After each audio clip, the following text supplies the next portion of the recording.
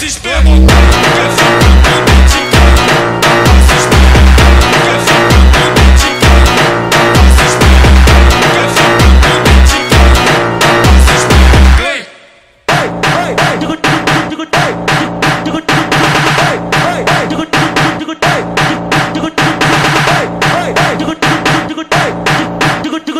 Índio come xota, índio come cu.